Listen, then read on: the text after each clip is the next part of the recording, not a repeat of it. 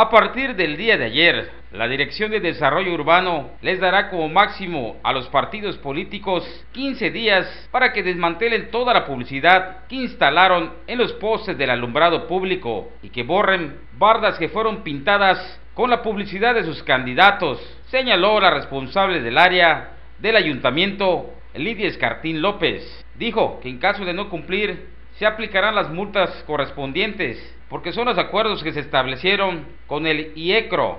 Pues al otro día de que concluya este proceso electoral, hay que iniciar el trabajo de desmantelamiento de todo lo que es la promoción e imágenes de todos los eh, partidos electorales. ¿La dirección cuánto de plazo les daría? Hoy deben iniciar con este desmantelamiento de publicidad. Hoy se inicia, tenemos que apreciar que pues es bastante lo que se colgó, lo que se pintó y no es un proceso de unos dos o tres días.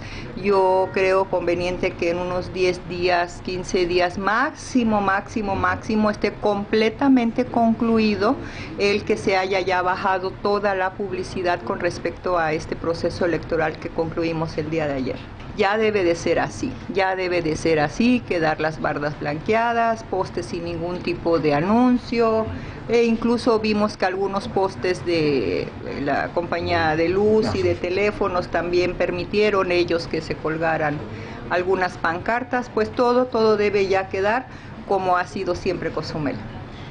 Provisión Jorge Q, imágenes, William Guam.